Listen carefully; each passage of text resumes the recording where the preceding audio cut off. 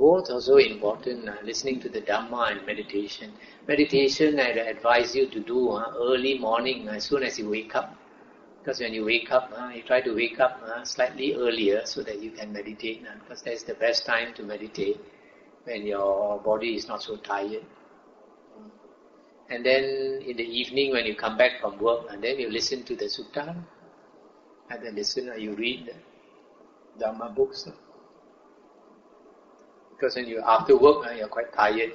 It's quite difficult to meditate. So in the evening when you have free time, you listen to Dharma talks and read the suttas. In the morning, you meditate. Actually, our meditation uh, is to clear our mind uh, so that we can understand the sutta. Uh, so understanding, understanding the sutta is by listening to the Dhamma or reading.